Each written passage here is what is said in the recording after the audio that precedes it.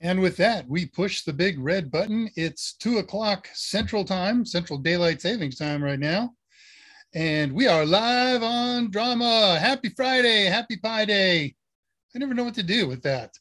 Happy Pi Day Friday. well, good afternoon, whatever we want to call the thing. It is Friday afternoon, and we've gotten together for another episode of drama. Man, do I look washed out? In my feedback screen. Let me know if uh, it looks as bad to you as it does to me. I'm going to flip a light off here and see if that makes a difference. it looked so good when I was doing rehearsal. So I've turned it off. It'll take four seconds for six seconds for it to turn up. Eh, about the same. I guess it's just really, really bright on my right side I keep this light on on my left side to kind of make an evenness and hope that the uh, the camera will auto adjust for brightness and contrast. So there it is. It looks like what it looks like, right? Excuse me, I got a little bit of a frog. and I don't know if I had it all day. I'm working in the house solo today. There's been nobody to talk to, so I don't know if I've sounded like this all day. I sound like a clever lad joyfully chomping on a slice of apple pie? What joyful lad would be joyful about chomping on apple pie? It's a raspberry pie show. And it is that.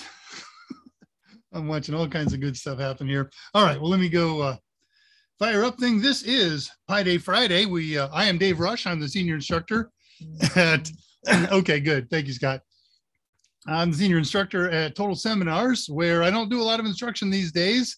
Uh, so I do fill in a lot of other uh, responsibilities and tasks and funness and get an opportunity once a week to come on and do this and kind of breaks up the monotony. I'm really pleased about that. We do get together once a week to talk about all things CompTIA, especially A plus, Network plus, Security plus. Uh, and we try to incorporate Raspberry Pis into those environments for those of us who are locked down and uh, can't do continue our studies in our normal modus operandi before all of this corona covid stuff came to be. And so we you know we do all kinds of things. We make uh, products and projects out of raspberry pis to use as study aids for comptia. Sometimes we just do fun stuff. Sometimes we do general learning and foundational stuff basic linux things like that. And uh, today, we're going to do uh, a project that kind of touches in both worlds. One, it's going to touch in all three worlds of A plus, Net plus, Security plus, and to a lesser degree, ITF plus. Uh, we're going to build an email server, and that's going to require that we have an understanding of a number of ports and protocols. And also, we're going to build an email server because having your own email server is just a pretty darn cool thing. And being able to do it on a Raspberry with, after everything, after you buy a Raspberry, whatever model you want, this will work fine on a Raspberry Pi Zero, uh, depending on how many users you're talking about simultaneously accessing. Uh, and a power supply and a case and a memory card, an Ethernet card or a, an Ethernet cord maybe, but you can do Wi-Fi. And so on the bottom end, you're in for 40 bucks, 35 bucks if you go Pi Zero, and 70 bucks if you want to do everything well up with a, a good Pi 4. You can't do that. You can't pay two months worth of time on an AWS server, maybe three, and build an email server there for that same amount of money. This will run for years. So, ton of fun. All right, let's look in. Now let's go see who's here. Not too many. We can get caught up pretty quick. Tullowit, first man in. Many thanks. Nice to see you, sir. Scott popped in little uh, right after to greet him. Ellen Duggan's here, 1156. Hey, everyone. And hey, Alan, right back at you. we have three people talking. Oh, here comes a few more. Okay. Uh, let's see. Today's special project, according to Scott, is installing an email server. Well, that was up in the air up until last night because I have just had a murderous project that uh, I'm still not done with. Uh, that I promised I'd have done for the company by Friday. I'm very, very rarely late on uh, project delivery schedules, but I am behind on this one, and it's very related to a last one that I did. I was a little late on that one, so uh, because of that, I haven't had much time to do any prep. Uh, and we'll see how that uh, manifests itself in a little while. I'll tell you more about that as we continue. Andrew Hutz is here. Yo, yo, yo, yo. I did a yo, yo, yo reference on Discord. I saw nobody follow up on that. We'll talk about Discord in a little bit. 3D print your pie cases, ladies and gentlemen. Absolutely. Um, I have 3D printed three of them. I got one up there in use and it's held down by a rubber band. I guess the other two are upstairs, uh, but you can, uh, there's a wide variety of cases you can print uh, 3D for Raspis from very min- minimalist to super exotic. Well, all right. So again, I am Dave Rush. I'm senior instructor here. I am joined in spirit and in keyboard by my partner in Pi, Scott Jernigan, uh, finishing up what we call the uh, the last of the first writes of the N10008 new Network Plus book. He's going to come. He and Andrew Hutz has been working diligently on completing the uh, the glossary updates and culling and whatnot. That'll get turned in today, and I believe the last chapter of First Writes then has been turned in and the last this is the last item of first Writes. after that things come back and they uh, they've gone through a, a grammar style and content editor and they go through an, uh, another editing process a tech editor. We have a, a wonderful gent uh, phd electronics in one of the new york universities who double checks everything we say technically and uh, he sends those back to us and then we have to check and see if if that's an edit that we're we're happy with or that we need to address and it's a it's a really involved process to write a book and scott and mike um, are the primaries on that mike does much of the writing scott does much of the writing and then scott does almost everything else so he really really hammers the time and still pulls two hours out of his week to join us again in in keyboard right now but he's here. He wants to hear from you. Ask questions of me, ask questions of him. Just post them in the live chat. If you're not watching the live chat and you want to talk to us, there's a whole bunch of different ways that you can accomplish that. Uh, if you're watching this uh, after the show is no longer live, you're watching it on the archives. Uh, you can communicate with us by email. If you're watching live and you don't want to communicate with us uh, on the chat because you've got a long message, because you're shy, because whatever reason, you are most emphatically encouraged to contact myself or Scott or even Mike Meyers himself, the big man, uh, via email. You can catch us. I, we all work at Total Seminars. Our website is totalsem.com. And our emails are first name and last initial. So we're pretty easy to figure out. I'm Dave Rush, therefore Dave R at totalsem.com. Scott J for Scott Jernigan over at totalsem.com. And while I don't have it up here, Michael Meyers, right? Michael M at totalsem.com. If you want to talk to Mike, you can also send me uh, an email on my personal email address at to my, at my, whatever the correct grammar is. I'm D Rush T, uh, TX. I'm David Rush in Texas at Yahoo you can try and call the office. Nobody's there, but uh, somebody answers. We we forward it to one of our administrative personnel uh, during the day. And if you've got a crisis or something like that, I've got to talk to Mike. My test is tomorrow, and I haven't studied. he may not be able to help you, and then again, he may. So you can always do that. Uh, I'm always looking for. Uh, or we're always looking for more YouTube subscribers. So please like and subscribe to the channel. If you're watching this on the archive, you can do it then. You can do it now.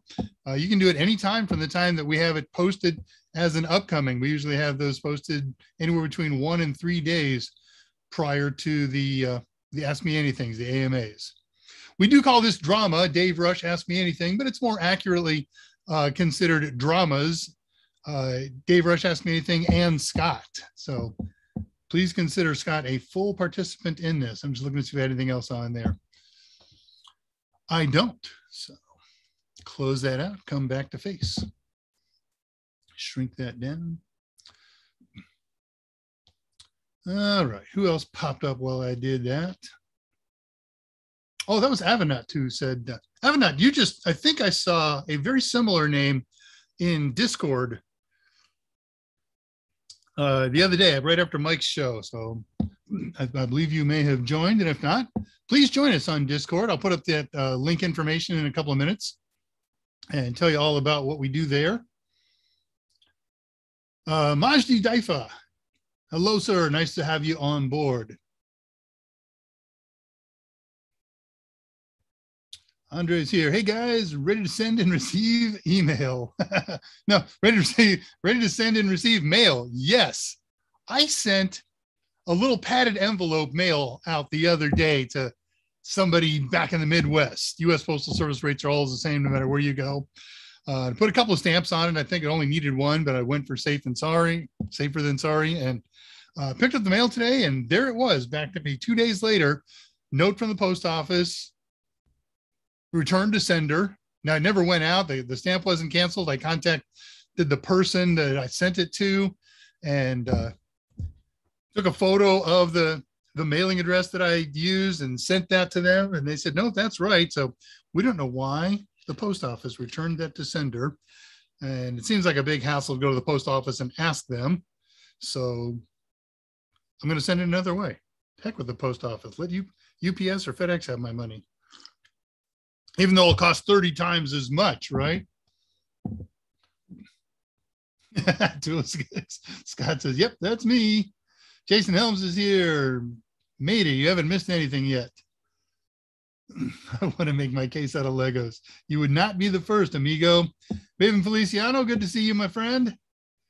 X Wing fighter pie case made from Legos or logos.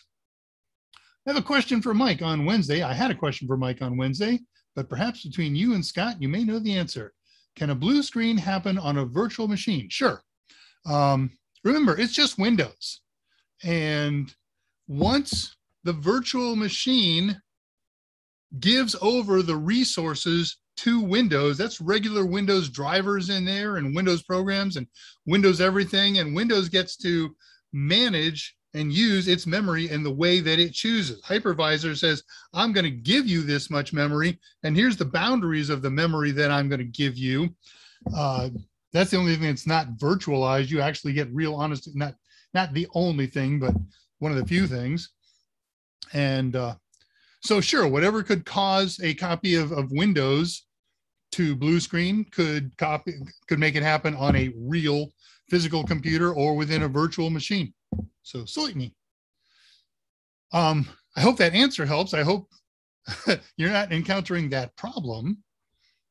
And, but I suppose it's also more possible to blue screen within a VM than outside. Nah, nah, too many variables there. That's not a fair statement. Okay, Mr. S is back studying for core two. Yeah, we know you passed core uh, one. I remember giving you congratulations on that on Wednesday. Uh, when are you taking that, bud? Let us know. Uh, greetings, my favorite nerd caller. The herd heard the nerd. SKT, S, SK Total Wellness. Got it.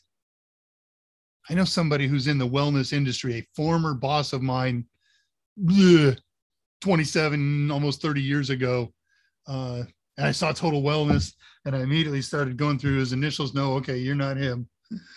That'd be interesting to, to see the old boss. He was an old friend too, so coolness. So greetings to uh, SK. Mr. S, is MAC addressing work on both wired and wireless connections at the same time?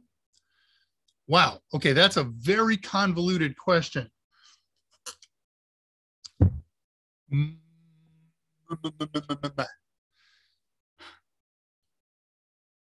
There was a time in Windows that if you have both a wired configuration and a wireless configuration, the wired one would override the wireless one. You wouldn't have any wireless access. Of course, wired network interfaces have MAC addresses and wireless network interfaces, Wi Fi cards have MAC addresses, and they're the same style MAC. They're both 48 bits, and they're basically both Ethernets. Uh, they're assigned by IEEE, and the first 24 bits are are assigned, and then the manufacturer gets assigned the next set of bits in there. Earlier to mid versions of Windows 10 allowed simultaneous operations of both devices. And so, certainly, simultaneous Mac operations can happen. Um, somebody can be ARPing to your physical MAC address, your hardwired MAC address, while somebody else, uh, maybe you, it doesn't matter, somebody else, you are using your machine to perform uh, some kind of ARP process or RARP process. Uh, and those, there's nothing that prevents those from happening simultaneously. So let me go back and look at the, the, the syntax of that question. Is MAC addressing, we'll say does MAC addressing work on both wired and wireless connections at the same time? Yes, on current versions of Win 10. If you're using both of those interfaces simultaneously. Okay, about a week or so, Mr. S. Great. Uh, thanks. Not encountering, just encourage, curious from the hiccup from the stream. Okay. Yeah, I saw a bunch of missed questions on Wednesday. Sorry about that. Mike gets wrapped up, and when he super scrolls, sometimes he doesn't go all the way back up. Because we all love YouTube with, with its magical super scrolling thing. Patricia Gray says all the adapters will have a MAC address, physical address, Wi-Fi adapter, Ethernet adapter, Bluetooth adapter.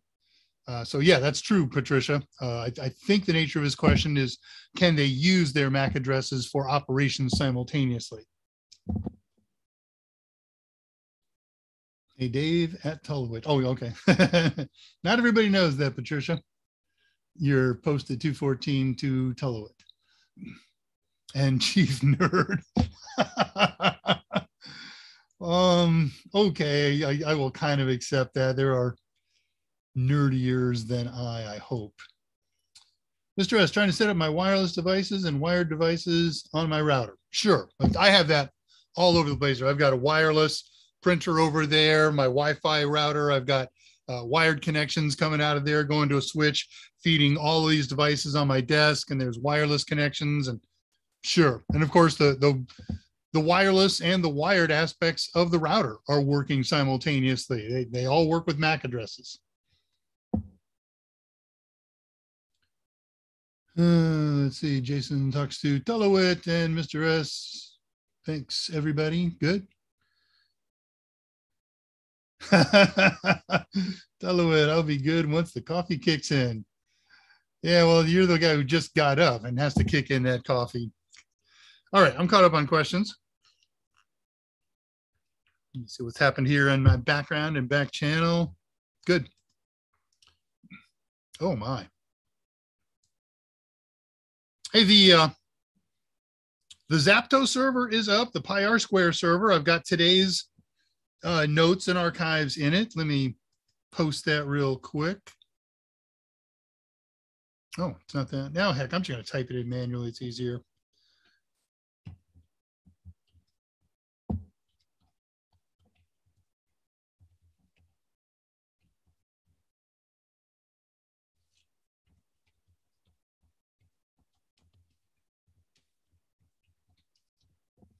Okay, so I just posted a link to pirsquare.zapto.org and whatever the current time mark is 216 217 something like that.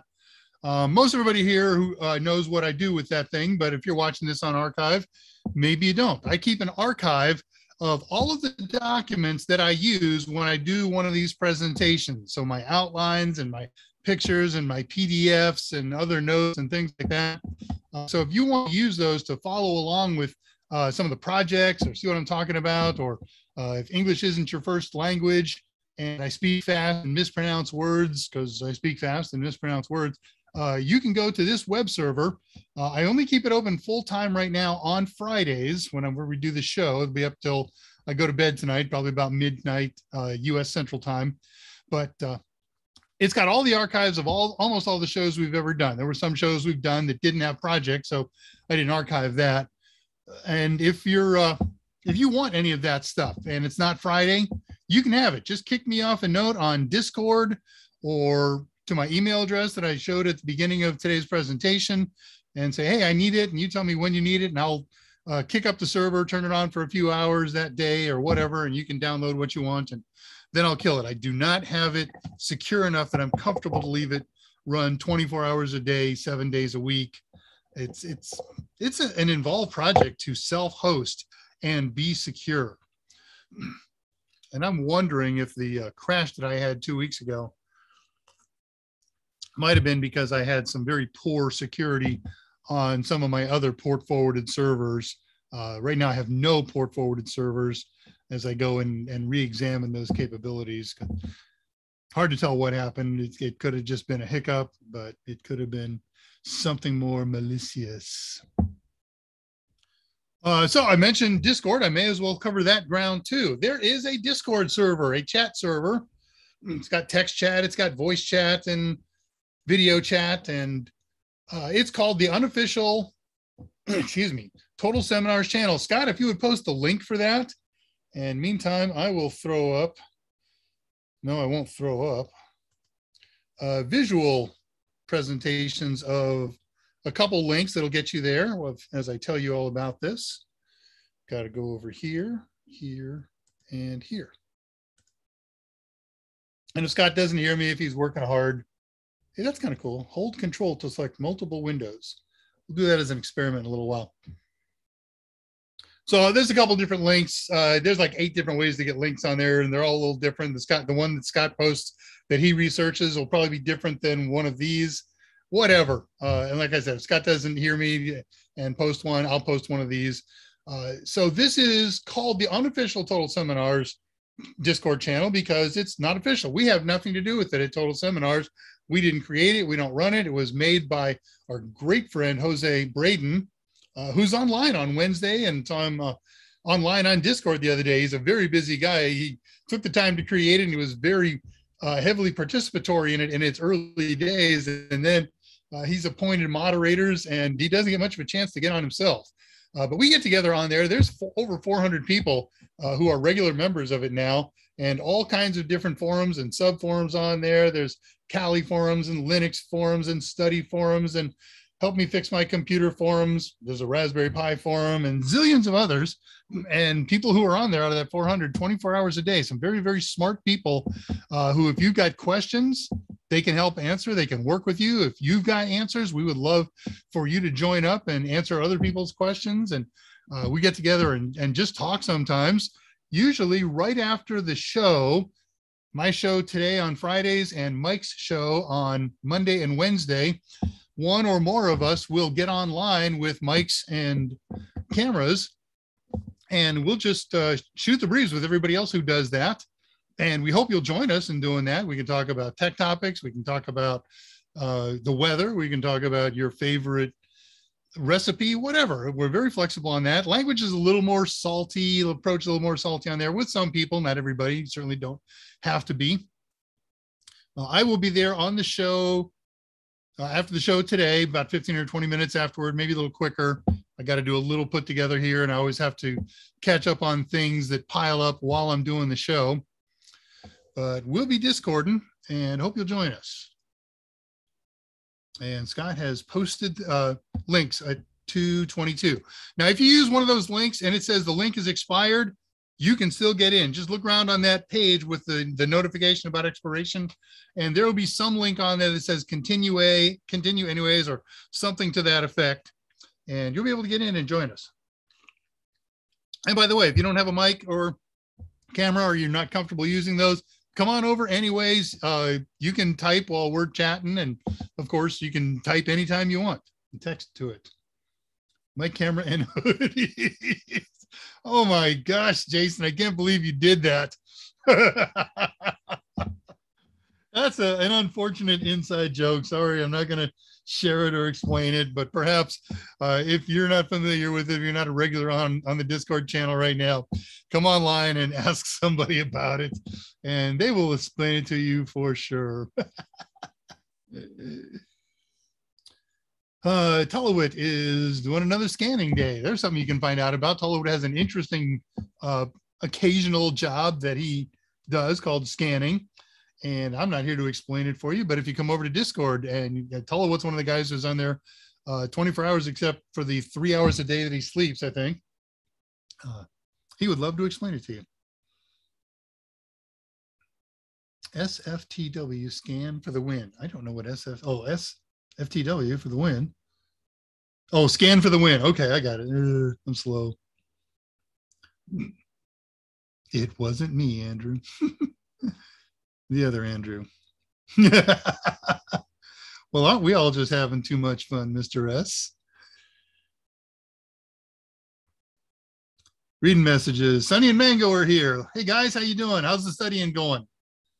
I love how you guys study together and, and share uh, an avatar and all that good stuff. You guys are a wonderful couple. Jason Helms, you keep pitching them. I'm gonna hit them out of the park. okay, it's true. Thank you, Patricia. Darn right. Y'all behave. okay, I'm caught up on questions at 225. Hey, nice. Let's see what's in here in my handy dandy notes. I'm already way ahead of the game. Okay, Scott's moderating. We're here to advance technical learning while, isolated during the COVID crisis. If you're tracking or care about any of this stuff, this is the 58th uh, episode of Drama. And if you ever want to see all of them, you can just look at the, the top of the page that you're looking at now. Uh, actually, when you back out and you look at the uh, the the upcoming link on the, the just look at the the homepage of YouTube slash user slash total seminars channel, and you'll see a link up there called playlists. You click on that and you'll see uh, one for Mike's shows. Every one of his AMAs that he's ever done is archived there and easy to find. And same thing right next to it.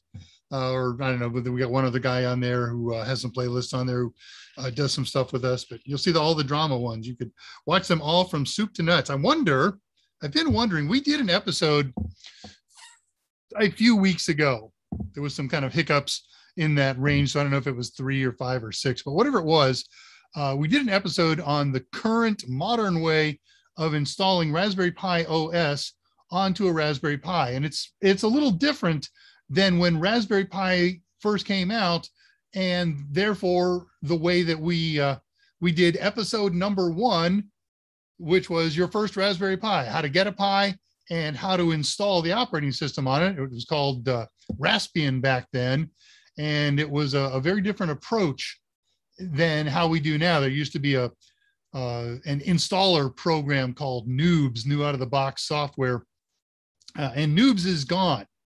And so, for anybody who's going back to that year old post, which isn't that old, people do that, and I will prove that today. Uh, it won't work the way they say. So a few weeks ago, we said let's do an updated version of that, uh, how things are done today. And I wonder if, you know, I guess what I'll do. I don't want to pull it. I, I'm I'm one of what Mike's Mike calls precious poop guys. Once I've created something, it kills me to edit it or to change it or delete it. Uh, so what I'll do is I'll make a change to it. I'll go to the descriptor on there that says Noobs has been deprecated and there's a new and better way. See our episode on whatever that date is. Yeah, that'll be cool. I like that. So it is number 58. We did our one year anniversary six or seven weeks ago. Probably wasn't that far back. I've been so busy, time just flies and flies.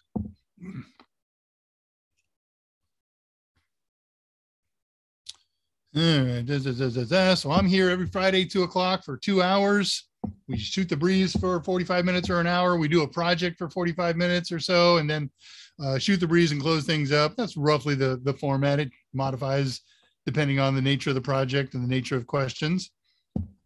Mike Meyers himself, senior author and president of Total Seminars, uh, best-selling author of millions and millions of CompTIA exam preparation books.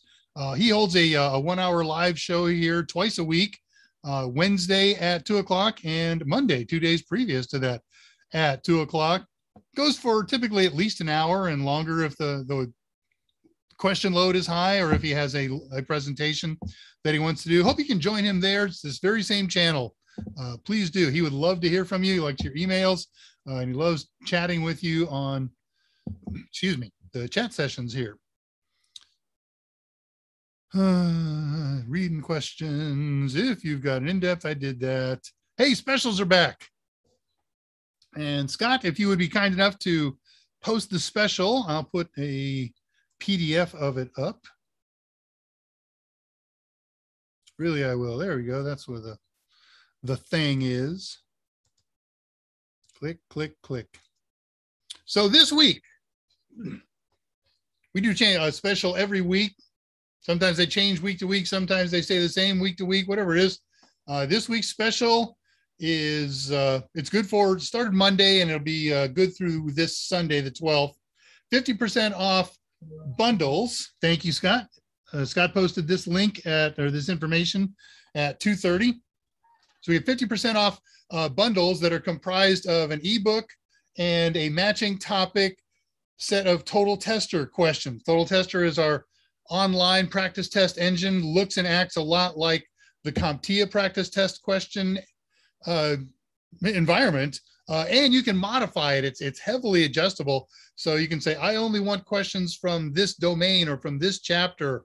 Uh, I don't want it timed. I do want it timed. I want to get hints. I don't want to get hints.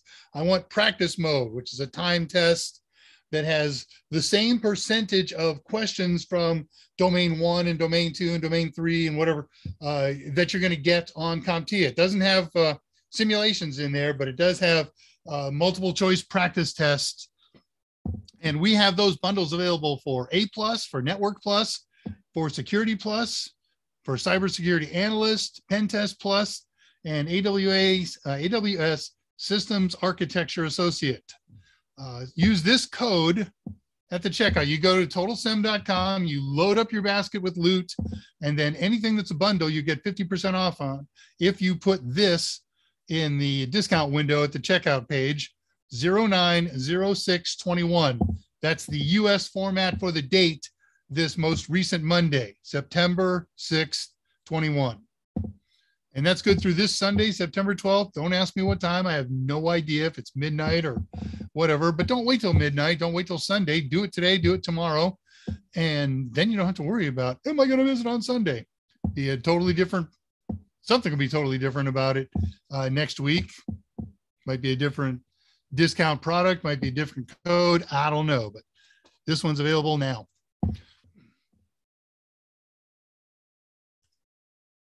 All right, back to my notes.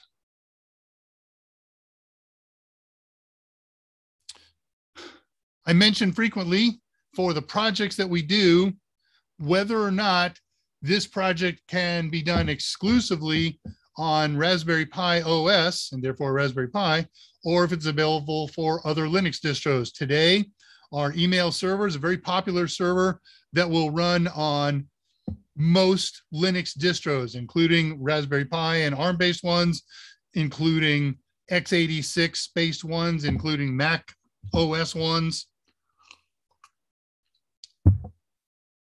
So very flexible. If you haven't bought your Raspberry Pi yet and you want to try this thing, make yourself a virtual machine in your own system with uh, I don't know Ubuntu or Debian or whatever makes you happy, and pretty much follow along this, the general same steps here that we would do on this. Where we've been, where we're going. Last week, September 3rd. Where are you? There you are.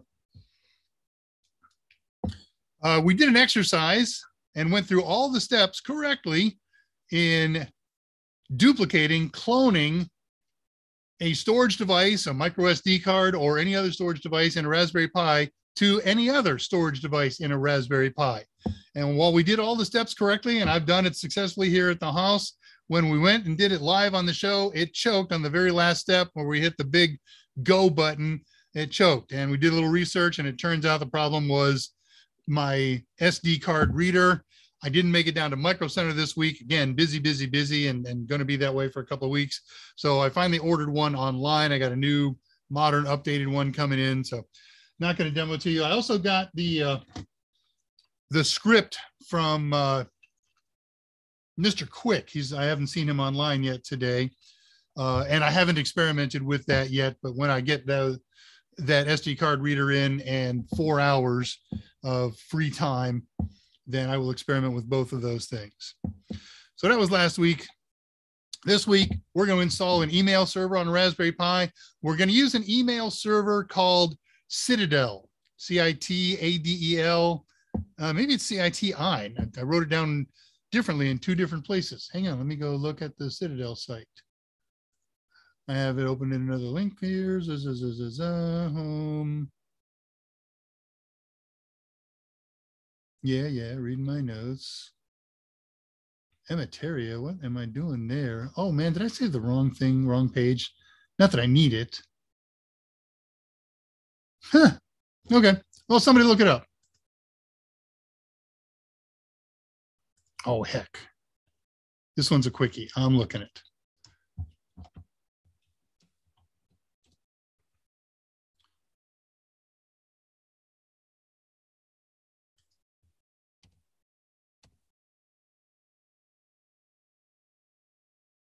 citadel.org with an A. It's email. Okay, so I had it typoed here.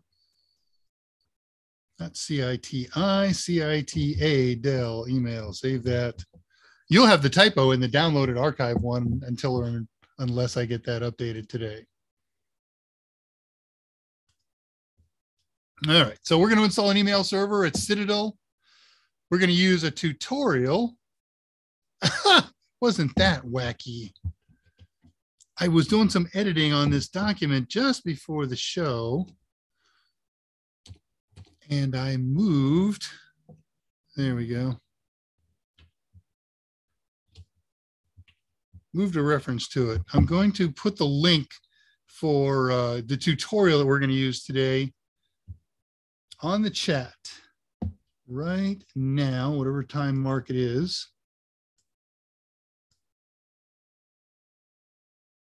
Okay, time mark 236. And now I'm going to put this back in my document here.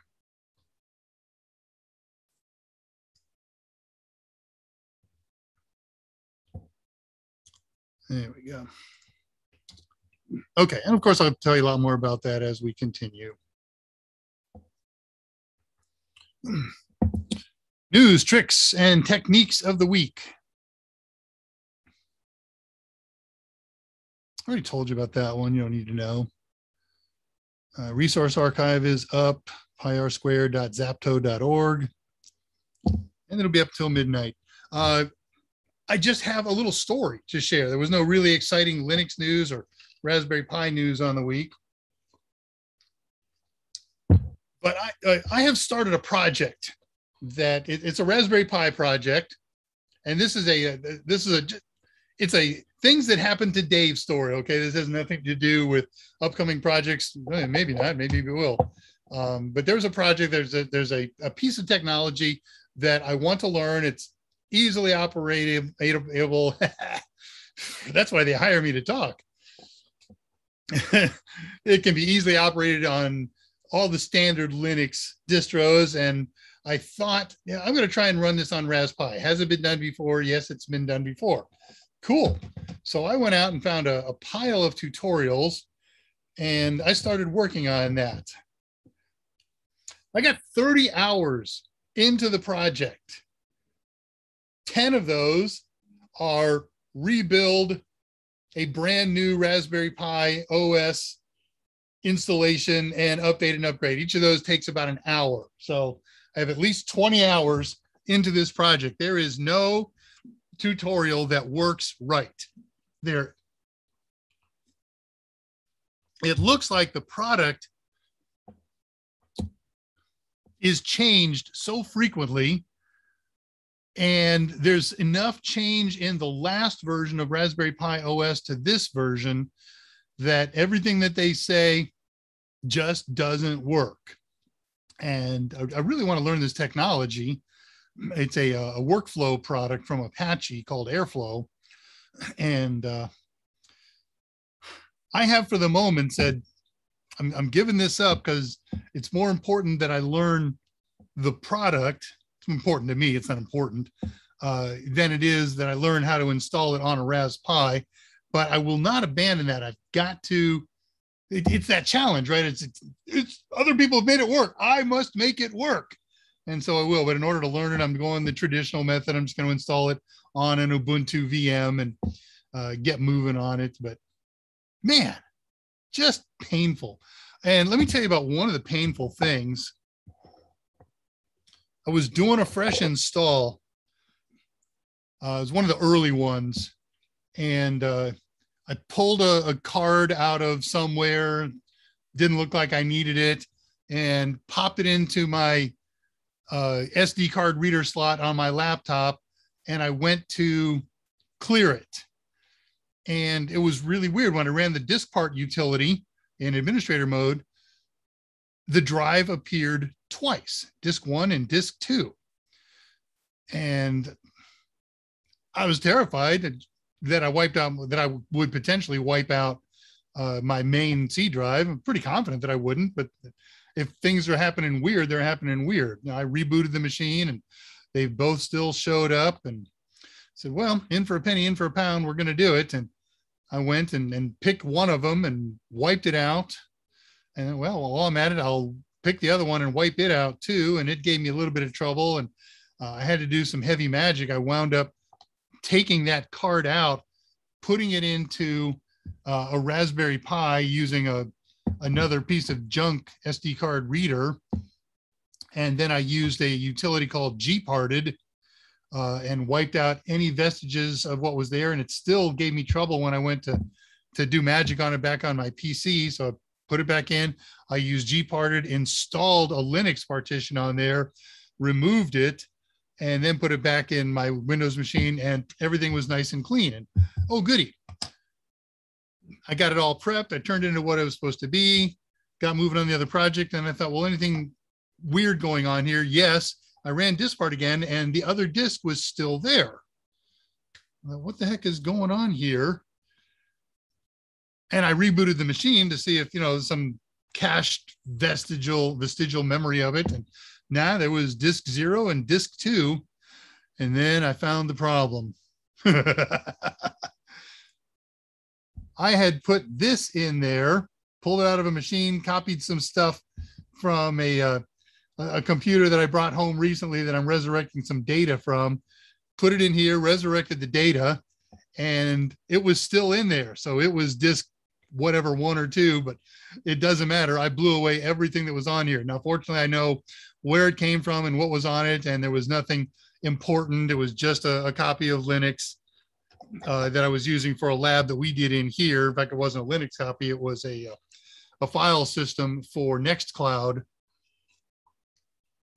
and we never put any actual data on there, so no loss. But wow, what a stupid mistake! If I had a live critical uh, flash drive in there, that could have been catastrophic. So, give myself a reminder whenever messing around with that stuff do a good physical once over on all the slots, what's in there and what's not, right?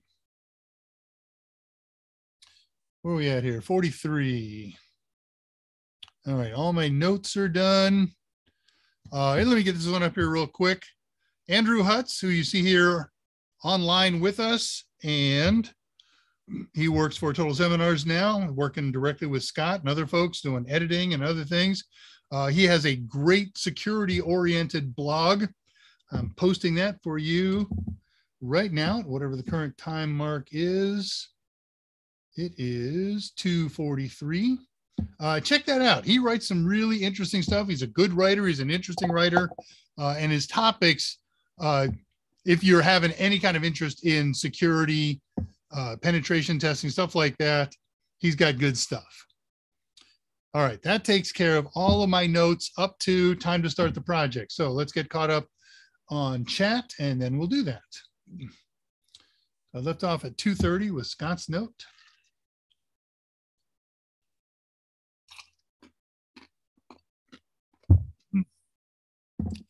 Crunchy ice. I love slushy ice.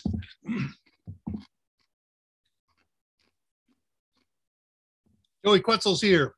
Hey, what I missed? You haven't missed anything? Usual day to day basic questions that would come up. The project starts in about five or six minutes. Okay, Scott posted, as we said, today's specials at 2.30. Jason Helms talking to Scott.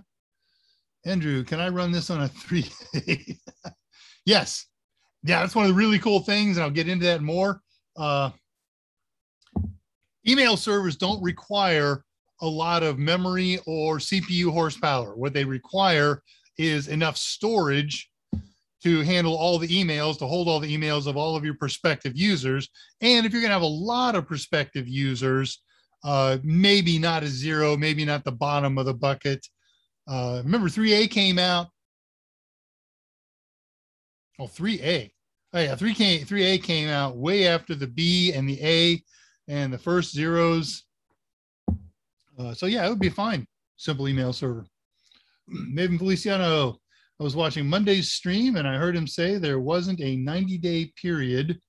Just to clarify, he also mentioned the ebook. So it's the ebook that's permanent, but the questions are 90 days.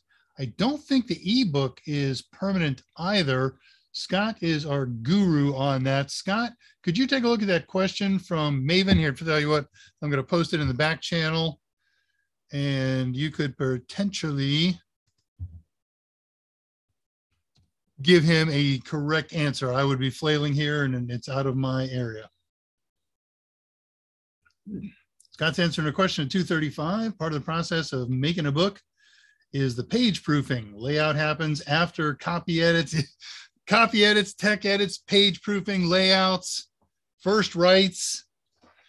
And then Scott, and then the, the book gets printed, you know, however many copies in the first run, 250,000, 500,000, whatever it is. And then all those printed pages come back to Total Seminars, and Mike and Scott uh, take pieces of, of heavy cardboard and they print the front and back covers and binding, and then they hand bind each of those books. It's a, a many month process uh, because between the two of them, they can get about 100 books done a day. So, or perhaps I made all that up. but yeah, there's a lot going on making books. Lot. Jason maybe the book is yours and unrestricted. Test bank is 90. Okay, Jason's answering the question. Scott gives more details on the process of writing books. Tolo at 236, pages have to be proofed. Once they double in size, they can be put in the oven for baking. you know, there's only a handful of you and I, a handful of folks besides you and I, who understand the proof pun there. But okay. Yeah, there you go. Patricia Grace, Grace got it. And Scott did. Okay. Maybe there's more than a handful. There's only 16 of us here. Hey, it's 17 people. I only see six people who've clicked the thumbs up underneath the, the marvelous image of this gorgeous visage. So let's get that thumbs up thing plugged. I'm not making somebody thumbs down. Who hates me? That's such a wussy thing to do. If you got something, you got a problem with this, fine. Tell me about it. Contact me by uh, email or post it in the chat or do whatever. But you know, don't be a wuss and just thumbs down it because you're you're some hit and run 13 year old idiot. I'm just gonna go to live things and thumbs down them. Oh, you know what? And of course, it could be somebody with a hoodie. I'll bet that is that that that other 13 year old brain case. No, I shouldn't have done that. Nah, he was just having a bad day, I think, and things overflowed. The wonk. What was that? Somebody's machine wonked. All right, reading along here. Jason Domes, just curious the process. Now I'm hungry. Yeah, we're all going to go start baking. I super scrolled. There's a little bit going on. Can Raspberry Pi, David Moen, can Raspberry Pi ever suffer from overheating? Well, David, it's like any other computer, um, suffer from overheating. Yeah, we did uh, a show where I, I, talked about cooling and we did some labs uh, where we operated at regular temperature, at close to max temperature or throttling temperature, which is 85 C on most of the models. Uh, so when it gets cl uh, close to or at 85 degrees, uh, the CPU slows down, and therefore any programs that you're running will slow down. Uh, that slowdown will cause it to cool down. And as soon as it cools down, the speed spikes back up. And then it gets really hot really quickly because it's already close to max thermal load and it drops. And what happens if you watch this graphically, we, there's utilities, and I will find this for you. Uh, you'll see the speed go really fast. So there is, of course, it won't go above that one. If you force it to go above 85, and that's pretty tough to do, then it'll just turn off the CPU. So you won't damage it. So when you say suffer from overheating, yeah, it'll slow down, but it won't die from overheating. I'm going to pull up the episode info on that cooling episode. Give me a second here because I got time. It's not in that one, therefore it's in the other one.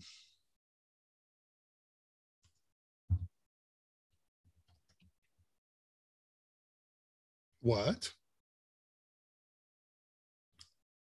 Oh, not there. Two down, one to go.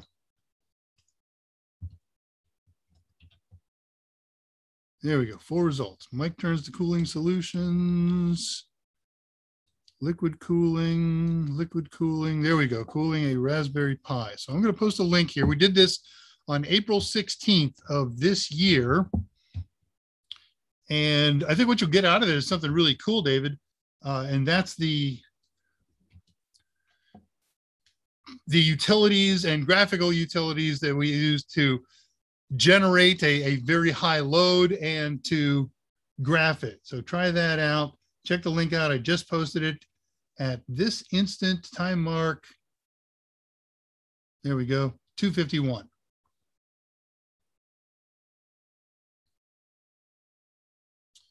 Okay, 242, Joey, I'm running Kali Linux on an old computer, which I rebuilt it's safe to use the admin account as my regular default account, or should I create and use a separate account for regular use?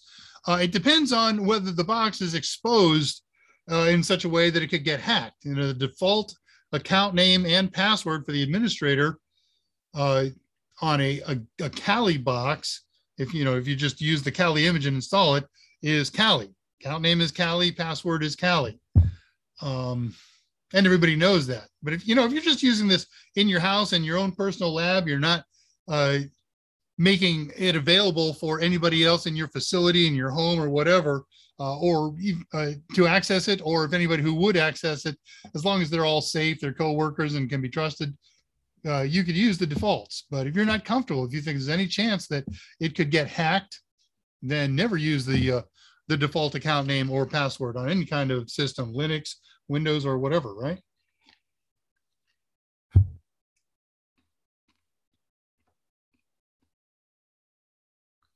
Yeah, for your regular usage, you should never use the root account or the Pi account or the Kali account. You know, if you're just talking about installing an application or running an application, whenever you use these power accounts, malicious code uses the permissions that your account has to perform their malice, to infect files, to commit atrocities upon your hard drive or whatever. Uh, Andrew Hutt's doing a new article this weekend too. You're welcome for the plug. Maven's talking to Jason at 244. Patricia, I'm eating ice right now too. Sweet. Next project, Dave should go over the setup of an old school dial-up BBS using a Pi. I'll have to pull my rotary phones and my yeah, you'll you'll laugh. Scott will will nod his head saying, "Yeah, that sounds like Dave." I have uh, an old school uh, switch, telephone switch, and old school PBX buried, you know, deep in the guts. I haven't seen it in decades, but I could pull that out and make a tiny little phone company here. Yeah, we could do that. I would need a modem bank. reading questions ebook is a two-year subscription maven there you go so it's good for two years thank you scott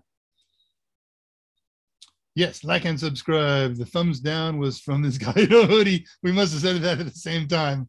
I was off page. Haters gonna hate. Yep.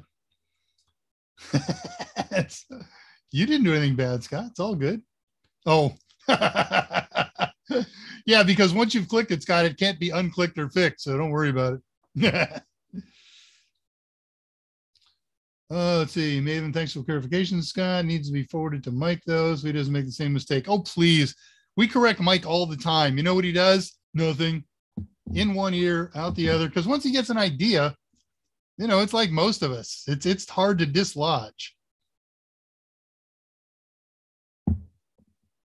I do the same thing. Yeah, we're doing emoji puns. Usually Patricia does something or similar. There we go. Here comes emoji. I see. Well done.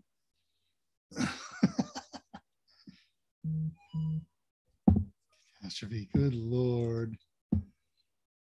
I know you didn't, Scott. Goodness gracious. I have thick skin. Even if you did it, it would have been cool. This project that we got uh, this weekend, I don't know where, uh, what the direction they're going to make us go is, but uh, if it requires that uh, you toss an insult at me, do it. And likewise, I have no problem doing it with you because of the nature. If I say something about you, it's it's never something negative about you. It's never in truth. Okay, caught up, I think, on questiones at 253. Let's talk project today. So we're starting a multi format, a, a multi episode project when I first looked at this as a project, and I thought about this close to a year ago, what are things we're going to do in the future? And one of the things we had to do is make our own email server. Uh, it came with some biases, right? It came from the fact that uh, I'm not as old as Mike, but I'm pretty doggone close. He just has uh, a little more than a few months on me.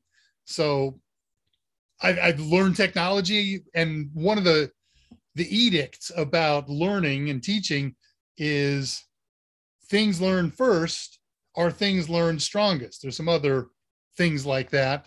Uh, so the way I learned about email servers, I understand very well, uh, and it's 30 year old information. And things have changed a lot since then. And I try to keep up on these things. I'm I'm not a Luddite. I, I like new technology. I learn new technology, but email servers is not one that I've, I've spent a lot of time following and tracking the updates the last time I did an email server was just a couple of years ago. Mike and I built an email server at his house for uh, a video series that we were shooting using his house as, as the studio. And we did it old school, same kind of, of server that I learned about 30 years ago. So when I made the commitment a week ago, going to do an email server. And then I started the research on, I don't know, Friday night, Saturday morning, whatever it was and I got kind of a face palm moment there that says, there's a lot going on in email servers right now. Uh, two major categories and then subcategories of either. So we're going to talk about uh, what we're doing here and, and why we're doing it. So let's start out with project. Uh, hardware required, a Raspberry Pi and the usual accessories, a power supply, a case. You don't ever need a case. You just have to have a case because you got bare exposed uh, circuit points on the bottom. And if you put this on something that's uh, metal, well, it'll be destroyed immediately. Or if it can fall or get pushed onto metal, uh, it will be destroyed immediately then. Uh, I did that in college one time. I had a, a circuit board that we ordered for a club that I was in, an amateur radio club. And I was programming it in my dorm room one night. And it was on a, a nice uh, formica, linoleum, whatever kind of plasticky, varnishy surface of a desk that was provided by the university. And I'm buzzing along, having a good time. And I got up and I, I shoved, and it went to the edge of the table, the desk, whatever it was, which had a metal rim around it, fried instantaneously.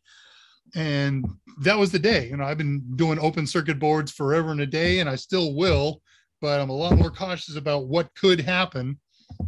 And so, you know, case up your Raspberry Pi. If that means putting it on a piece of cardboard, that's fine. I've got a, a an Intel NUC, NUC, the next unit of computing, uh, in my other room as my HT PC. Uh, that's in a, a little piece of folded cardboard uh, made out of a cereal box. This thing came as a bare circuit board. And so I cut it out in shapes and I bent up some flaps on the sides of it and taped them and it's been running like that for three or four years now. It's pretty cool. You need a power supply, you need a micro SD. And again, we kind of talked about the capabilities of the Pi. If you're not talking about a lot of users, you don't need a powerful one. A, a micro, a, a, thank you, a Pi Zero uh, will be just fine. I'm not going to recommend the earliest Pis that had 256 megs of RAM or 512 megs of RAM. I want to be thinking on the order of a gig of RAM or more if you're talking about maybe using, uh, making a, a, server that's going to serve a lot of users. I'm looking at, at, total seminars with our give or take 20 people on any given day. Uh, I would feel very comfortable with a, a Raspberry Pi, anything doing the job. But you do, of course, have to consider how many emails are they going to create and save on the on the server. And for that you got to deal with an appropriate size thing. If you want to do it with a micro sd card fine. Think big 64 gigs at a minimum higher. Or plug in something external an external uh, hard drive an external ssd a good size flash drive. Something along those lines is worthy to consider. All right there's your hardware. You can go wi-fi you can go wired ethernet both. Neither whichever makes you happy. Not neither uh, software. You'll need, of course, Raspberry Pi OS. Current distribution works fine. And then all the other software that we need for the project is going to happen and, and be explained as I go along. The project. Put up the link and show the email in the tutorial. I posted this email on the uh, chat. I'm posting it again. Here's the tutorial that I'm using at whatever the current time is. Looks like a minute after the hour or so. And did I make a slide for that? I know that I did because because I know that I did. Let's just go with that. Email server tutorial. There it is. Then you click this and you click this. And you're all kinds of background wonking going. Oh, when I know what that sound is. Somebody's playing on Discord. I've, we've had Discord links up. So we're using uh, electromaker.io as one of the sources. There's a lot of different tutorials for a lot of different projects on there. Uh, I did this project briefly last weekend, and I'll tell you why I picked it and the nature of it in just a moment. Uh, and I haven't done it since. I got a clean, fresh card here. We're going to do it raw and in the wild. And what this means is I don't remember how long it took to do each step. So we may wind up uh, running long. And if that turns out to be the case, if, if we had a long copy or then we got a long copy and we'll do the rest of it next week. I'm planning this thing for three weeks and allowing to grow as long as four.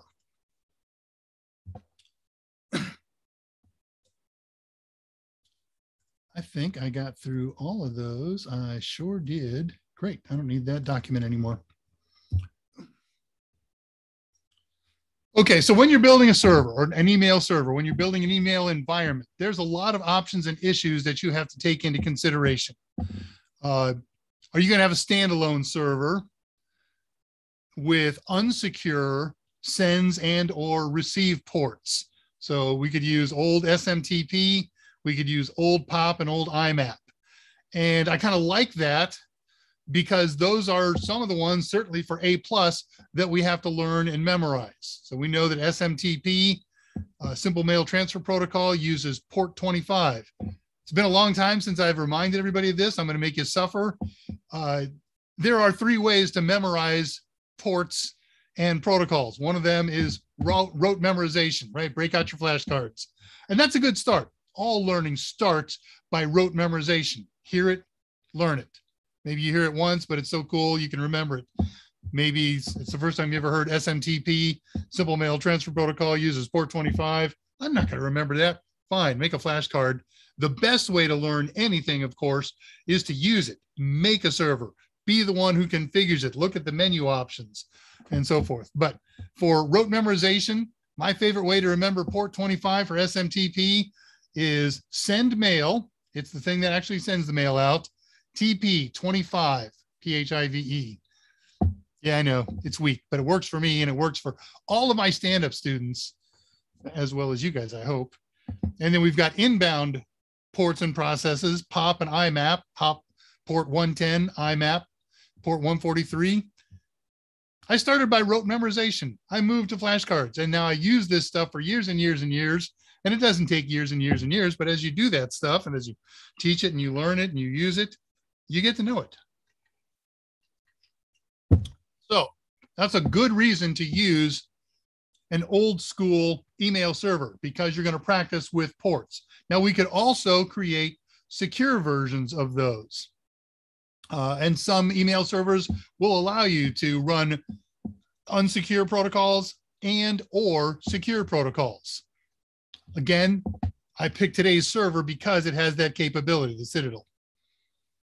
With this kind of email server, we can let the server run quietly, use traditional. Now that's the, the, the one possible e about it the kind of server we're going to use today, the old school server, is a quiet little server. It just sits there, it does nothing, and we've got to access it using traditional email clients like Outlook or Thunderbird, the very, very popular uh, open source email client. Very powerful, very flexible. Now, another way to do this, if you want to create a cool email server that uh, you don't want to use because uh, you're learning CompTIA stuff or real world everyday network stuff. They make email servers now that natively come with a web browser interface. So you don't need a client. All you just like uh, you would access Gmail or Hotmail or Yahoo or Proton Mail or any of those other web-based email services.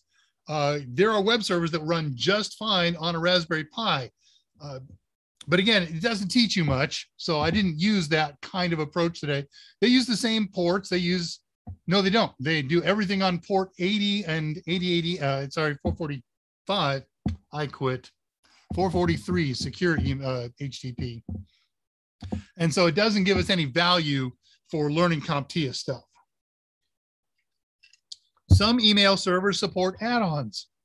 Like the one we're going to use today, I could add a web interface to it. Oh, sweet. Thank you. Scott posted uh, links at 305 to the ports and protocols document that we created. Myself and Michael Meyers and a number of other people were involved in that. Uh, it's got all the ports and all the protocols that you have to know for current A plus, current network plus, current security plus. And that dawns on me, Scott. I've been thinking about this for a little while. Uh, we're going to have to update it to make sure uh, there's no additions or removals from the new N10008 in the next couple of weeks or so, whenever uh, Net Network Plus, the new Network Plus new exam officially drops and is announced. Uh, and then that document that you got the other day, uh, I'll create a draft document with any new information in that. And then when it's time to light that up many months from now, we'll do it.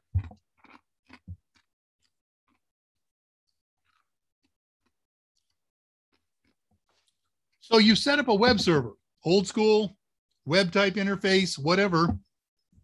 Now there's two other things that you have to do, maybe three, depending on how you look at it. You have a decision to make. Is this going to be an internal only email server? There are places for those. There are companies, large companies typically, that have an internal email server not accessible from the outside world. You can't use it on the road unless you make some kind of VPN connection back to the office. That's kind of a cool thing. Uh, does a nice job in helping curb leaks. But if you do want it accessible from the outside world, you're going to have to take the appropriate steps. Uh, steps. Uh, have it join domain, uh, domain, use dynamic DNS, use a service like uh, from noip.com or something like that. And then you probably want to make it secure. You're going to not just use secure protocols, but you want to make your whole server secure. So you're going to want a certificate uh, from maybe a, a, a, certificate authority like Let's Encrypt. That's what I do on, on both of those instances. Excuse me. With my PyR Square Zapto server, it's got a Let's Encrypt certificate and it uses DDNS from NoIP so that I could call it something, PyR Square zapto.org instead of its IP address, whatever my public IP address is. What did you just do there? There we go. Some emails, uh, some email. Now this is kind of a weird thing. Some email servers won't allow the server to be internal only. Can't access it from a client if the client has the same network address as the server. There's a fix for that. It, all of the uh, the email servers that I experimented with over the years, just a little bit this week, uh, have another program that comes with it called an email relay. And you can configure the email relay uh, during configuration phase of the thing, and it'll be transparent to you and you'll be able to use it. Uh, but you won't be using the email server directly, but you won't know you're not. So that's kind of cool. So we're doing this old school Citadel one. It's very powerful. It's very flexible. Well, if you're hearing this honking and weep, uh, winking on my computer, uh, I apologize for that. It's the uh, it's activity on the Discord server. I'm not looking at it, but because of the way my system is set up, I hear it wonk every time. Okay, so over at the tutorial now, I, I gave you the warning. So some of this may go quick, some of this may not, but we're going to use the tutorial here. And if we just follow the steps, there's only a few. First thing, as with anything, whenever you're going to install a new program, you do a sudo apt update and a sudo apt upgrade. Now, remember, if you're uh, answering CompTIA questions, they don't know about apt, they know about apt-get. So if you ever run into apt-get, uh, that's what you're going to see on CompTIA. apt and apt-get are very, very similar, some minor differences and some minor intended differences in usage. But all right, let me give myself a connection to my freshly installed copy of Raspberry Pi on a fresh Raspberry Pi. I used a 4B, not because I wanted all the power, it's because that was what I was experimenting with all week on that Airflow project. And I said, stop, make it go away. Let's do something different with it. Yes, wake up, dear. Okay, now we share.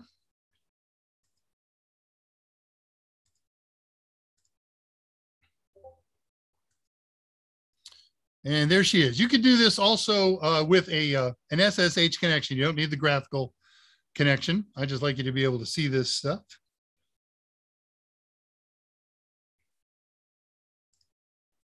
So I've already done update and upgrade today. I haven't done anything since then. So the first thing we're going to do is to set up a, a an installation package. So we're going to sudo apt install, and then after here is a list of programs that are going to get installed and uh, essentials. curl and a couple of these are already in there, but we'll just hit the big enter key. There's not too many there. Do you really want to do this? Yes, I really want to do that. You can see Y is capitalized, and that means if I hit the enter key, that'll be the default answer. So I hit the enter key and we start waiting. And while we're waiting for that, see, I'm going to stop the share because it's just going to be list of things going on. I'll keep an eye on it in the background. Progress, 11%. It's already zooming right along. And let me get my net, my nets and perhaps my notes set up for the next thing. Now, one of the things that we did there is install, if, if it wasn't already installed, the curl program. There are tons of ways to go out and get programs from sources. One of them is with apt install.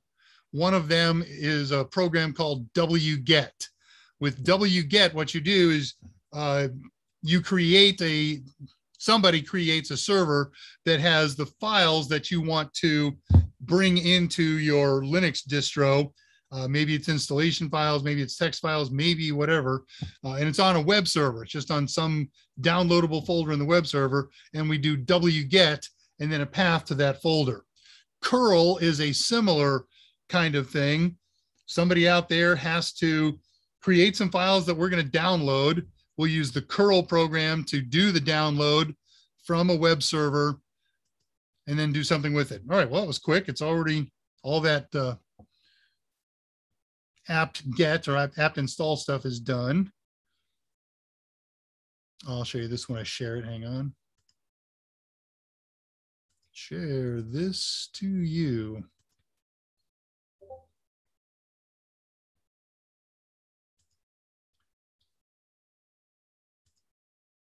There we go. So I got some notes about here. This is kind of an interesting note too. Uh, after I did my installation, I didn't do anything. It's a fresh, shiny new Raspberry Pi install. Uh, obviously, I, I, made some adjustments to uh, the size of the text screen here in the editor so you can see it kind of sort of and whatever. But it says, hey, I, I did some installations and as a result, there's some stuff that you don't need anymore. And it tells me how to remove that. It's one of the nice things about apt. And I'm not going to read all that. I was looking to see if in here there was a message about you've already got curl, but I don't see it. Okay, going back to copy paste the next command, the curl command.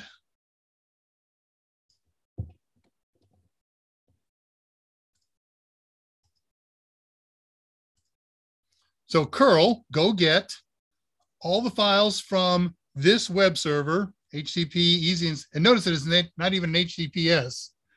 Easy install citadel.org, whack install. And then when you get whatever's there, run it through the bash script editor, interpreter rather, with sudo. So, okay.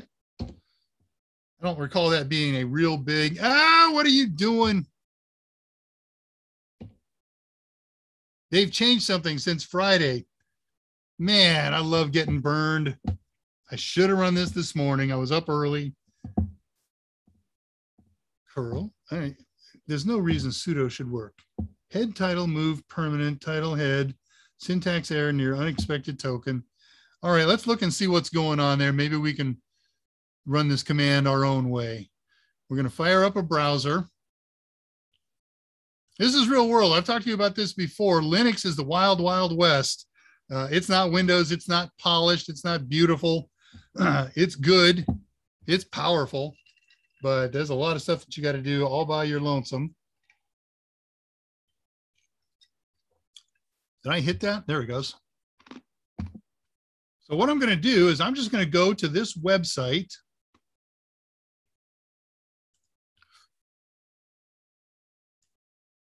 I don't want to do curl. I want.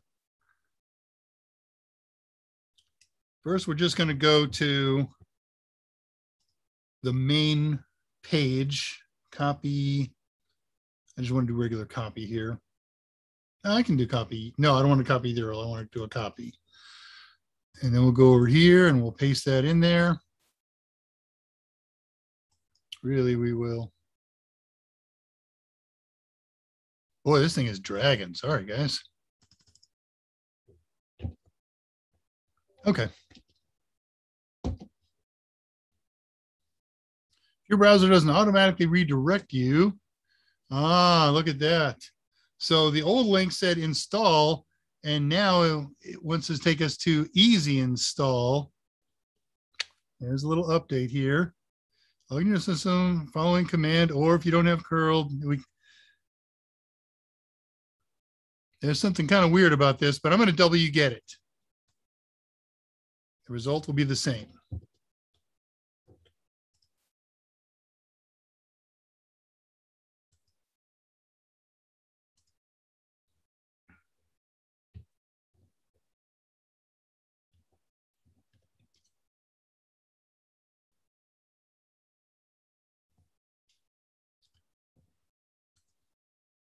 Okay, we wget couple of flags, easy install, install. I think it's going to have the same problem.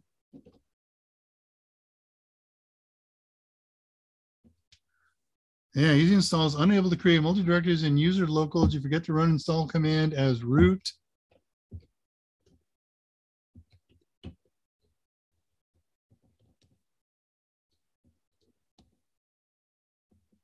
Hey, we got it. To Citadel Easy Install running. Here we go. Okay. so we beat it into submission. uh, I will update the uh, archive document when I'm done with the show. Uh, so hang on for uh, you know till tonight to download, or if you've downloaded it already, just download it again uh, sometime tonight. I'll leave it run for the weekend. that sounds terrifying. But now, if we follow along with this same tutorial, you'll eventually see a prompt to accept Citadel's terms and enter to continue with the install and you'll be queried whether or not you'd like the script to install additional packages. Let's just perform the installation steps now over here by saying, I'm going to type in the whole word yes. And here's the license question. Do you accept the terms? Yes, I do. And it says enter Y or yes to accept. And they got a capital Y, so I'll use a capital Y. This is a new installation. It will now begin. You want an easy install to attempt to install your OS dependencies. Yes, I do.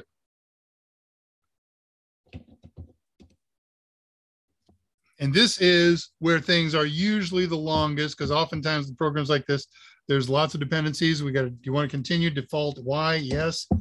There we go. Buzz, buzz, grind, grind. All right. And I will kill that so you don't have to get bored watching all this. Though it's truly fascinating, right? How are we doing on time here? We're 20 minutes after. Should be good shape. And while all that's going on, when all of these are done, when all these dependencies, dependencies are uh, programs and utilities and uh, files, configuration files, and things like that, that the program needs to run. Uh, you'll see that all the time whenever you do uh, any kind of Linux program installation. Um, trying to think there's some other times that you see it. Uh, one of the the things that's not supposed to happen is let's say that's got 50 dependencies. And later on, I load another program and it says, oh, good, you've already got uh, five of the dependencies that I automatic that I use too. This is uh, this used to be a real problem in Windows. It's a rare problem in Linux now, but it does happen because what happens now, let's say I get rid of that first program, I don't need anymore. If it takes out all the dependencies, that new program may miss some of the dependencies that it was counting on there before. And you'll see that when uh, you try and run the program, it says missing dependencies or something like that. If you ever see a program that's missing dependencies, very simple, uninstall it, sudo apt uninstall program name, or run an uninstall script or whatever it may be, and then reinstall it and it'll say, hey, I don't have the, the dependencies I need, and it will download them.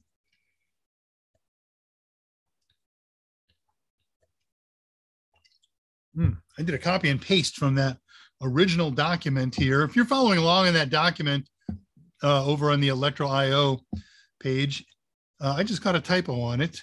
Similarly, installation process prompts you for enter an admin password.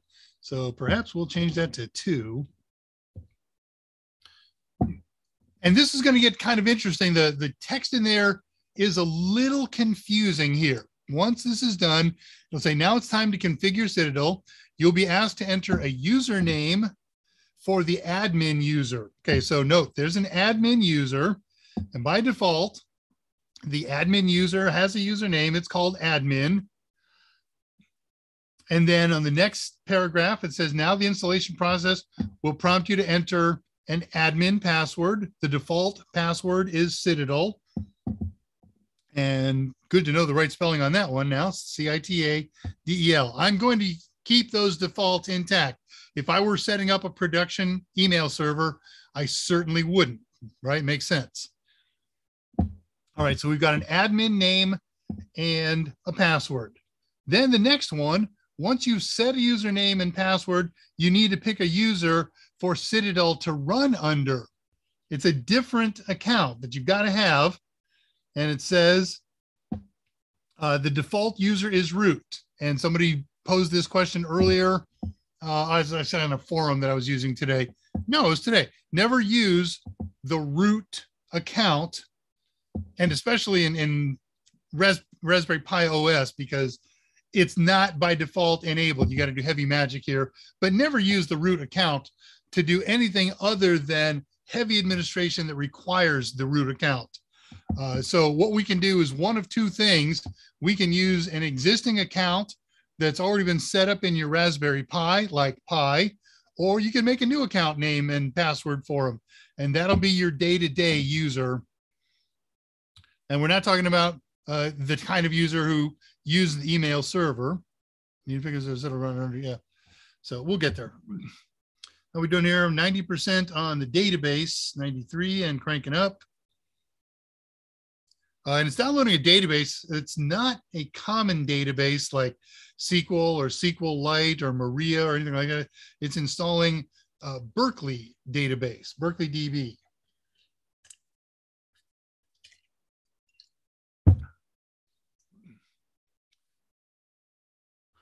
The next thing that's going to ask us, we can just kind of talk through this while that thing's doing its thing, is we have to pick an authentication method.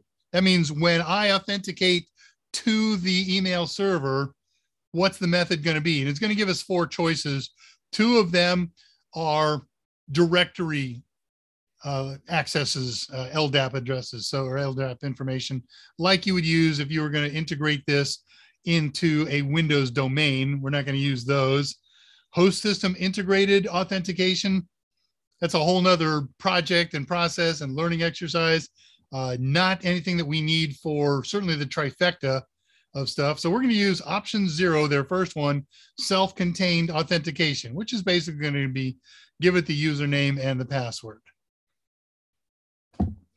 Now, the next question is going to ask us, there's going to be a, a user interface to administer it. And it's going to be a web-based user interface. If you install this on a server that already has a web server running on it, Nginx, Apache, web server, uh, whatever. Thinking of your different different platforms, there's some different email servers, uh, web servers. That's okay. But what's going to happen is those web servers are going to be using port 80 and port 443 for uh, authentication. I'm sorry, for web access. And that's cool. What they're telling us in here is if you do that, then set up an alternative port for these ones. And of course, anybody who accesses it and uses it is going to have to use the alternative ports. And they recommend something that's very common. Uh, the unsecure HTTP port they say instead of 80, use 8080. And for HTTPS, instead of 443, 8443, 8433. That's a typo. Should be 8443. Another bad one in there thing. Save that. Uh, I'm setting it up on a brand new, shiny, fresh Raspberry Pi installation. So there is no web server on there. It's going to set up its own web server and it will default to 80 and 443, and that's just fine. I could install uh, a, a, a traditional web server on here later if I chose. I could use alternate ports on that one. I could use standard ports on that one and change this one to alternate ports after the fact. It's all fine. Once this is done copying, installing, we're done. The server is set up, well, it's installed. Then we have to do two levels of configuration. Uh, one of them is going to ask us some questions here uh, with a little menu set of common stuff, and then we're going to access it using its web user interface and complete the uh, the installation or the configuration. And it's it's all pretty simple stuff. I thought I had a list of all the questions it's going to ask here eh, just dragging along, filling in stuff. I'm not sure how much longer this thing is going to go, but I know it's not going to go past our time limit. So I'll tell you what, I'm going to let that thing copy and move this over here. I'll check questions and see what's popped up while we're doing biz here.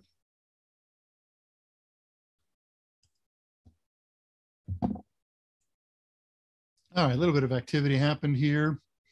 Oh, I'm, I must have gone way backward, all the way back to emoji puns.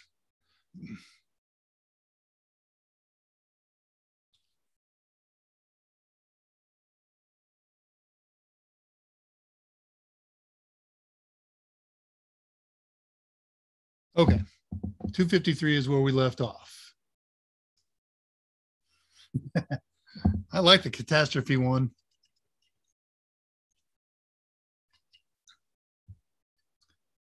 Browser crash, says Andre. Had to restart and log in again. That's new. Never did that before.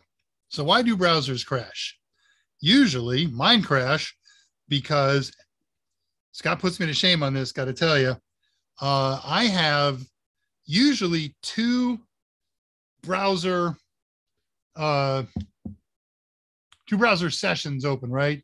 Uh, uh, control T on there, not tabs, control N for new. So uh, one of them has 30 or so tabs open and the one that I use for these presentations has 10 open. So I've usually got about 40. I think Scott usually has about 140 tabs open, uh, and it's a miracle. Of course, he he runs 128 gigs of RAM, so he can pull that off. And uh, I think he's got dual Ryzen 9 9 series, but uh, I crash occasionally on browsers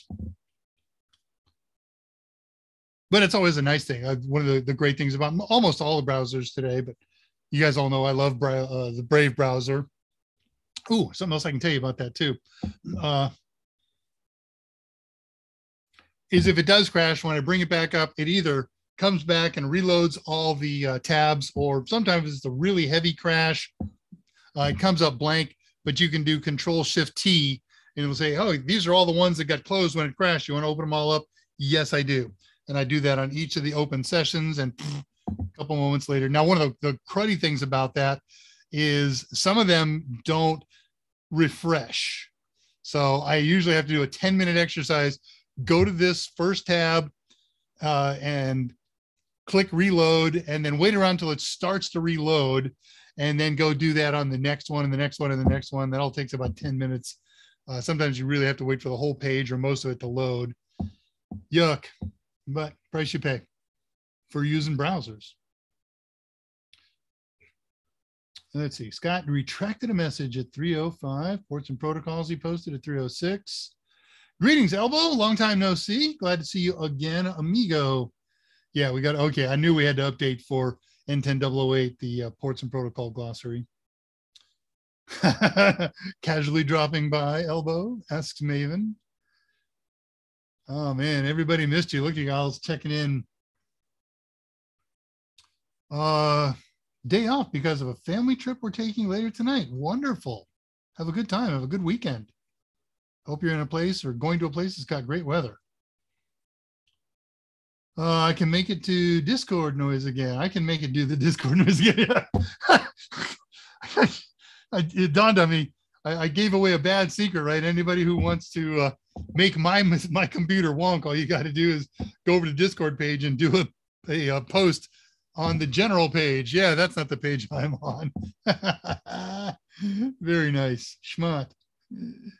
Reading questions, passing 312. Look at what my Raspberry Pi desktop looks like. If you haven't played with that, change desktop sometime too. It's kind of fun. I always keep the same one because it's familiar to everybody. read, compile, read, compile, read, compile. All right. Hey, that's what okay. I said that's that's what my Raspberry Pi desktop looks like. Okay. Wonder if there's a way to create custom Discord sounds for certain events. We could totally make music. oh, I have released the beast. I'm fearful. I can't fire up a browser. My smoke detector will go off. Yeah, it's Linux. Changes all the time. Yeah, I can't. I'll, I'll like I said, I, I will fix that archive document uh, and change out the uh, the instructions to wget. I, I know what they did, and if I cared, I would confirm it by going to do a, another experiment. But I got to wipe all this out and build a fresh server, and all for the sake of doing that simple experiment nah, we know what works.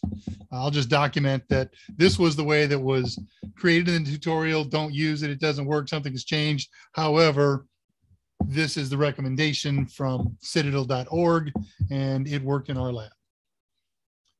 I don't mind typing. I do mind rebuilding a whole server because it takes an hour just to build Raspberry Pi OS. There's something interesting I've noticed. Uh, every time Raspberry Pi comes out with a new image, it's complete. It's wonderful. It's marvelous. And so if you install it right then and there, and then you do an update, upgrade, a couple things will happen, but it's a five ten minute affair. But over time, they change it. But update and upgrade still rely on the old information. And right now, to do update, upgrade on a fresh install, is literally about 50 minutes on my machine. Yours is going to vary based on the speed of your internet link and the speed of your micro SD card or whatever storage card you're using. But uh, I think I haven't tested this lately, but I will this weekend. Uh, that the fastest way to do an install is to download the most recent uh, image from raspberrypi.org slash downloads to your local machine. And then when you use the Raspberry Pi imager, don't select from the menu the over link, the, the over internet link, browse for the one you just downloaded. Now, I'm not 100%, I'm making that all up uh, based on some incomplete observations, but something to look at. What are we doing here? 35. I'm going to give this five to 10 more minutes. And if it's not done then, we'll pick it up at the beginning. There's only five more minutes of presentation to do after this is done. We got five minutes worth of answering setup questions, and then we connect to it with a browser and we start the configuration and setup stuff for users.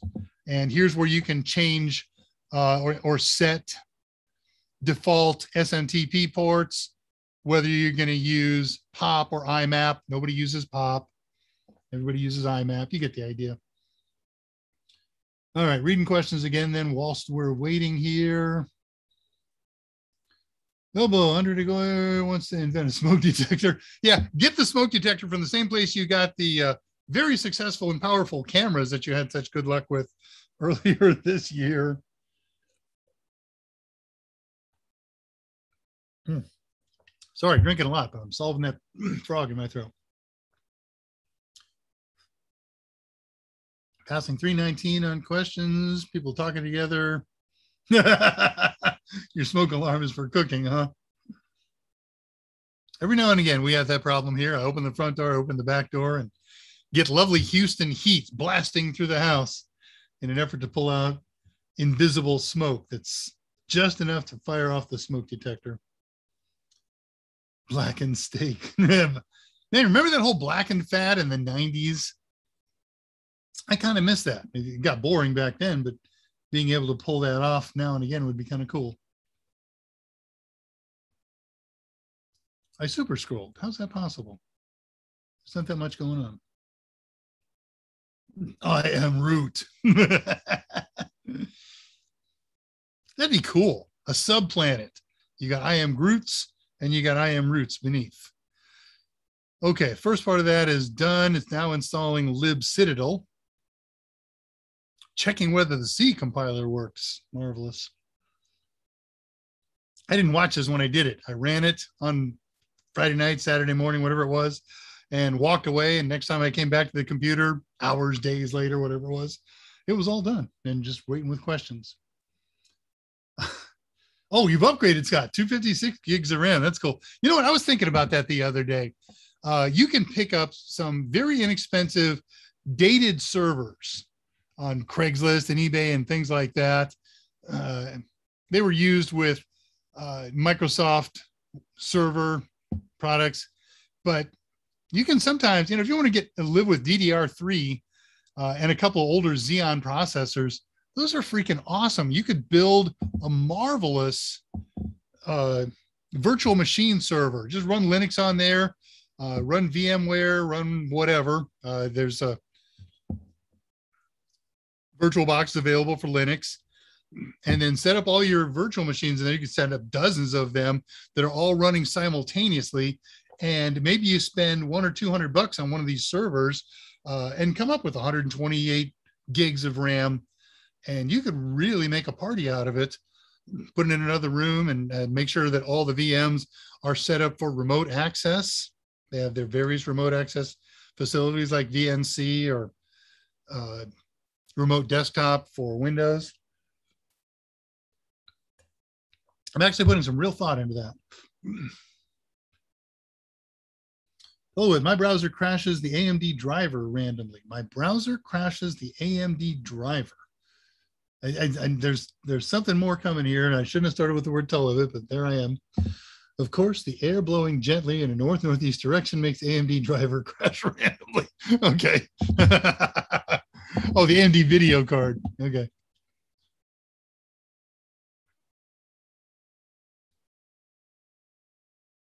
Debating, sharing what's going on with you here. Every now and again, you see something green, which means it's going to the next phase. So now it's actually installing Citadel. So it compiled everything, it C compiled everything where that was necessary. Uh, but then as soon as got, that goes off screen, then it's just list of stuff checking, checking, checking, checking. Here, I'll throw it up so you can watch it and I'll read questions while I'm doing that. One of the nice things is, at least so far, it uh, has not done one of those things where it freezes forever and you wonder, is it really going on? Buzz, buzz, buzz, grind, grind, grind. Okay, going back to this.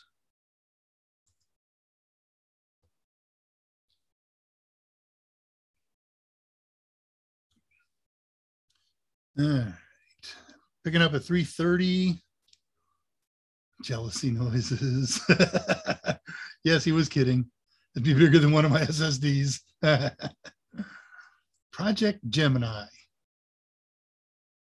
Well, other than the space program, which Project Gemini are you talking about, Maven? It was the other server that was making the noise. Yeah, the one with the burner on it. Hey, look, pretty purple things. Warnings. That's okay. Uh, is a GB or megabytes? I would love to have 64 gig of RAM. Me too. I would be happy with that. But I hardly ever multitask more than a game and a, and a YouTube video. And I never have more than like four tabs open. Okay, so let me tell you about an engineering axiom, uh, Elbow.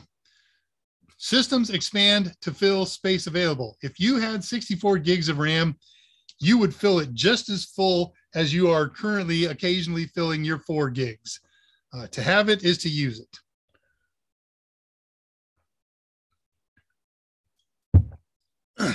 Excuse me.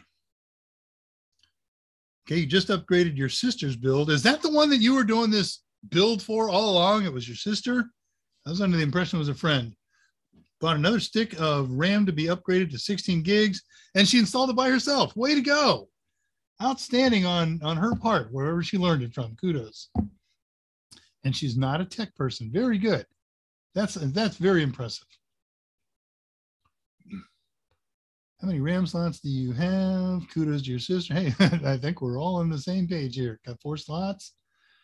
So you have 432 or a pair of 64s. Who's, oh, he doesn't actually have 128. I don't know if he does. Who knows? He might. Root Society exists. It's mostly underground. I already did that. Come on. Been thinking about doing that yourself, Andrew. I'm with you. Yes, he was joking. Just 32 gigs of RAM for Scott. That'd be so cool, though. 32 is the sweet spot right now. Yeah, that's that's pretty much true. I think on the consumer level, 16 is. Uh, at the geek level, 32 is, and then you once you hit 64, you're in the Uber Geek, the rarefied worlds. Downloading WebCit. That's okay. That's done. 95% installing WebCit. Oh, so the the WebCit, that's going to be our web management interface. So we have near the end there. How we doing here? It's 43. that was a good conversation. Everybody's on it here. Need a full upgrade next, holding off for a couple months to avoid stickers. You can't hold off for a couple months, Scott. Christmas is almost here. Christmas stuff is out at a store I was in sometime in the last week or so. And that store already had more Christmas stuff than Halloween stuff. Maven project that removes browsers. Browsers are inefficient trying to multitask too many things. Did a build with a friend a while back. That's the one that wouldn't post. Okay, after transporting my sisters was the most recent. So I presume, since we haven't heard anything about this in a while, that you finally got that friend's installation done. Uh, what was the problem? I mean, can you boil that down into simple, something quick and simple and fun? Hey, setting up iCal time today. Come on, you. I'm getting bored. I fear we're not going to get to this. I'm at at 50. I will abandon this, and we will complete it next Friday. But as I said, it's there's almost. But what would be cool is uh, the thing that I was going to do next Friday. We will still do. This will take five to ten minutes out of our life at the beginning of it to finish this project, and then move on to project next. Uh, and I haven't decided 100% which one. You know what? I did. No, I know that I've got to do two more uh, AMAs on webmail, and I hadn't decided what the order was going to be. I think what I'm not going to do is how to expose it to the internet. So I'm not going to do a DDNS episode. I've kind of already done that. Not going to do a uh, certificate episode. Kind of already done that.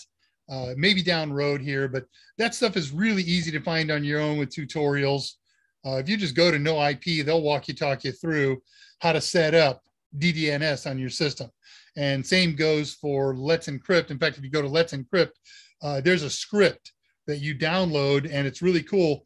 It you run that, and it installs in your uh, whatever computer you're using, your Linux machine, your whatever, and that script runs automatically every 30 days and keeps your certificate installed and updated and whatever. And remember, Let's Encrypt has free certificates. They only let you have three free ones, so use them judiciously. But how cool, right? So if you want to set up a like mine, an in-house web server, I put a certificate on that. You want to build your own externally available email server, there's a certificate. You'll need a different certificate for each server. And in theory, you could do both of those servers on the same machine, but they'll still need different certificates. It's doing something, connecting to Citadel server, playing with symlinks and making a service. Nice. All right, reading more questions here. 344, same thing. Okay. Under go, we need, hey, all right, error. Setup couldn't connect to running Citadel server, no such file. Press return to continue. I'm just going to hit return and see what it does here. Click, click. Ah, oh, I hate Linux. God, how I hate Linux. It was so close to done. Citadel Easy install is aborting. The last few lines above this message may indicate what went wrong. Couldn't connect to a running Citadel server. Oh, we may have to reboot.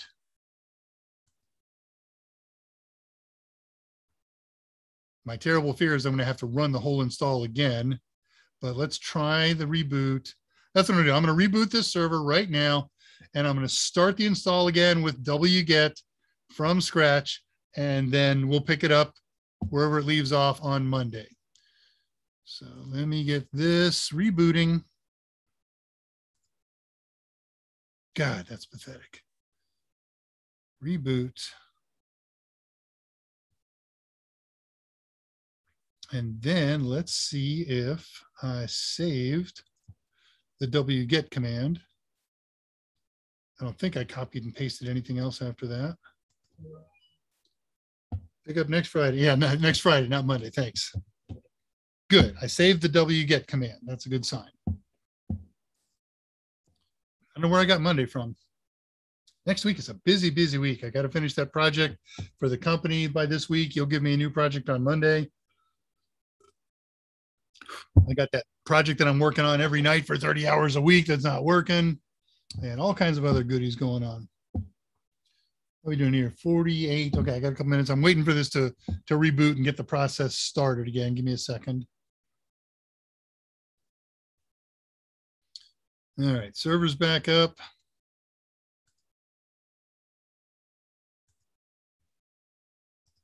You can't see it because it's not much point. Standby. Got to paste in the wget command. And we had to pipe that through sudo bash.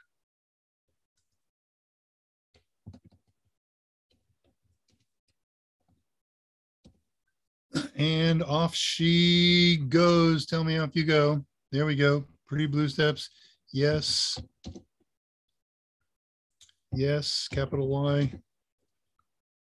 Have you performed a full backup of your programs? No, but we'll say yes. Do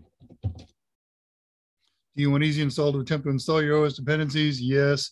Now, the good thing about this is it should say I'll read that in a moment on the back channel. Do you want easy install? I'm just going to say yes. It should say, oh, you've already got this dependency. You got that one and speed things up. Yeah, I just saw a bunch already installed, already installed. Things are happening quick. Okay. So I'm just going to let that do its thing in the background and we will pick this up on Friday. Oh, wait a minute. Here we go. Connecting to Citadel server. Hey, we are right where we wanted to be. Please enter the name of the Citadel user account. All right. It just needed a reboot. Boy, that's got to be built into the instructions, doesn't it?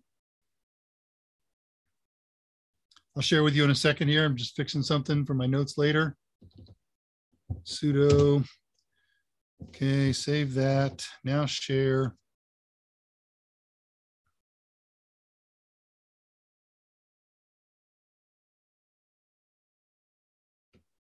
Oh, okay. I see what's going on. Sorry, I was just looking at the instructions.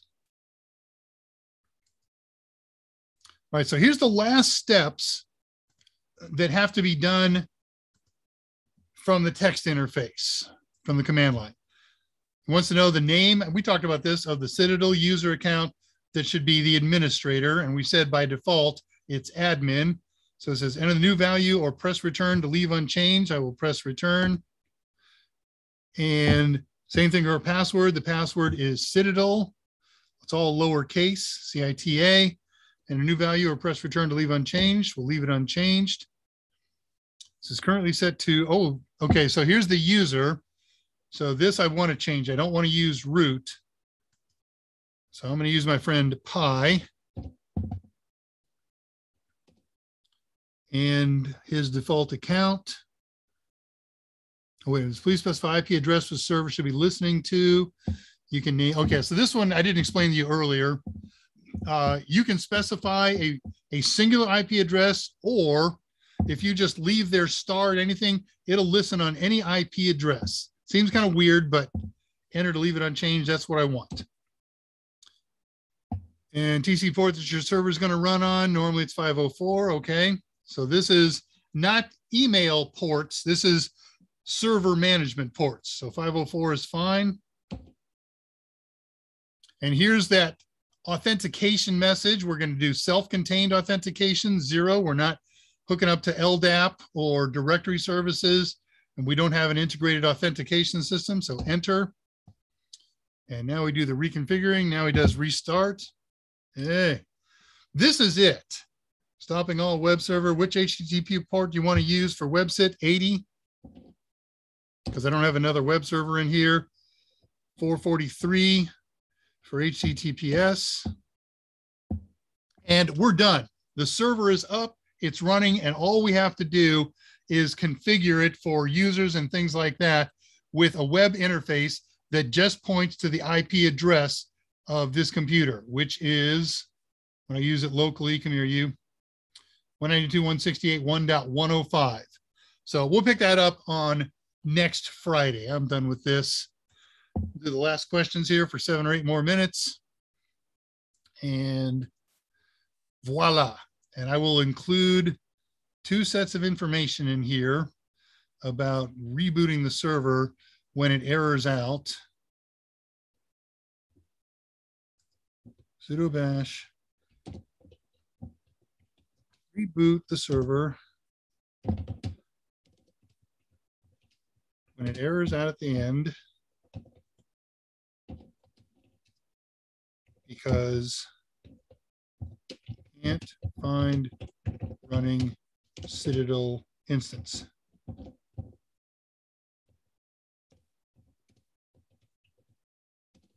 Then run the wget again. It will be fast and finish up.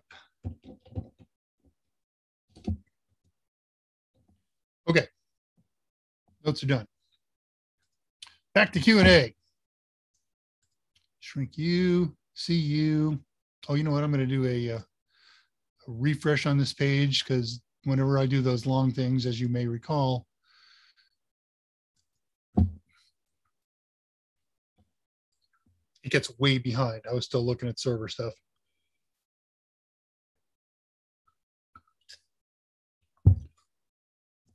Waiting, waiting, waiting. Meantime, I can look at my notes here. I'll put a big asterisk here. Pick up here.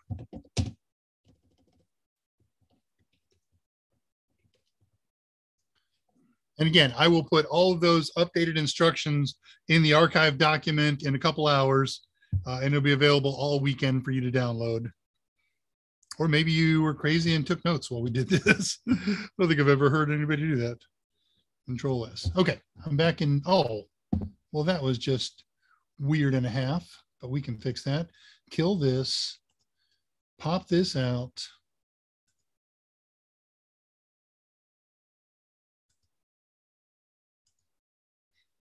Set it back to live chat, right? Pick up at the end. Cool. We got five minutes left. It's just right. We could probably open up a browser page and do this just that fast, but I would rather talk to you for five more minutes. Live chat. All right. I'm back in biz. Where'd we leave off here? I see fractal notes. I had nothing to do with those. Ooh, lots of stuff has happened. Okay, smart move is where I left off. Did build with friends. I need to choose between more RAM and a new laptop. Hard to choose. New laptop with more RAM, obviously. Oh, yeah. Scott posted something on the back channel here. Okay, good. Yeah, I was just, we're getting that question now. So, Kate Brown, welcome, Kate Brown. What type of cabling is typically used to connect workstations to wall jacks? Uh, so, typically, it's going to be unshielded twisted pair. And this being the year 2021, it's going to be a straight through cable. So, it's going to have the same wire colors on pins one through eight on one end as the other. And it will probably be category 5E cable that supports gigabit. It'll be stranded wire because it's in an area where wires get moved and unstranded wire, solid wire, uh, the more you move it, it's it's a little bit brittle and it can snap. But stranded core, stranded wires are much more flexible well, why don't we just always use one over the other? Well, because uh, the solid core actually transmits better. It's got more reliable connections. It's speedier. It has less resistance to it. Uh, but we, it's only safe to put in areas where it won't be moved, like in walls and things like that, because it would break uh, under the eternal movements and wigglings that we get in exposed areas. And so while stranded wire isn't as good for that kind of thing for uh, transmission capability. It's good enough and it's much more tolerant of wiggling and jiggling. I hope that helps. Over four months, we went through every part of this order, replaced motherboard twice and test another, bought another speaker, error speaker, speaker flagged RAM errors, replaced RAM, finally replaced CPU, and that fixed it. Okay. It was the grand, uh, probably Cat 6. Okay could be Cat six or multi-mode if you're using fiber. It's true. You you there was assumptions. I assumed that you were in a wired network uh, that's gigabit.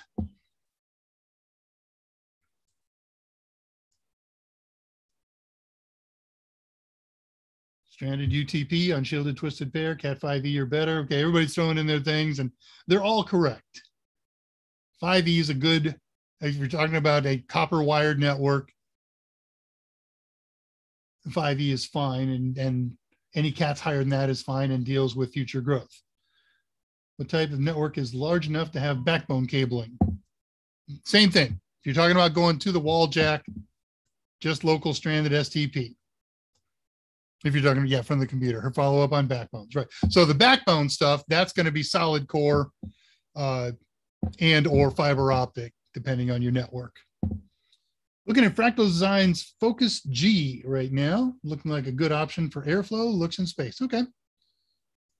I have a particular reason that I have to play with airflow. I'm working on a project and it mandates airflow.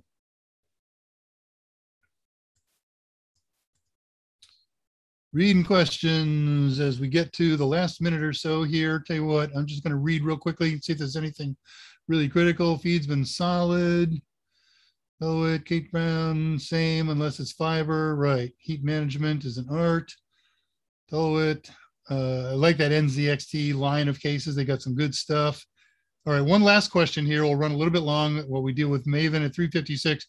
What could be the reason the pics on my iPhone is showing as empty in Fedora? Sometimes it happens on Windows when the memory is full, maybe tolerance of memory is less. I'm going to leave that to an iPhone guru, but I will tell you that for the brief time that I switched to iPhone out of kind of a necessity, um, I used the default settings on the camera and, and pictures I was taking, and it didn't make standard JPEG images. It made its own proprietary things, and I had to get uh, a proprietary viewer. And then I came to understand that I could change the settings on the pictures it was taking. So check the format uh, and the output on there. What the heck is going on there? Kate got a whole bunch of deleted messages. Somebody looks like the ban hammer was at work. Okay, thank you, Scott. Well, we're going to wind things up here.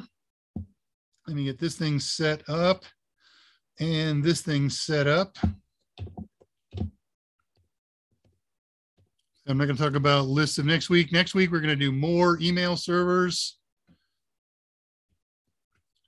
As always, my, my internal gratitude to Mike and to Scott, uh, Scott for his incredible yeoman service as he works the back channel. And man, the, the chat's just exploding. Sorry, I'm not going to get to it today.